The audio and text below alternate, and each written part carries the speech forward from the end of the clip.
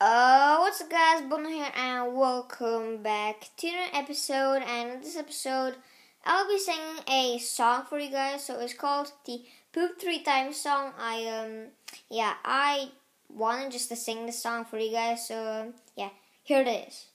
I was walking down the street and I had to go upstairs looking for a bathroom. Oh no, I went poo my pants. I only want poo. Then I go to school. Then another one. You know, I have another one. Then I go to home. Then shit my diaper. So, what do you think?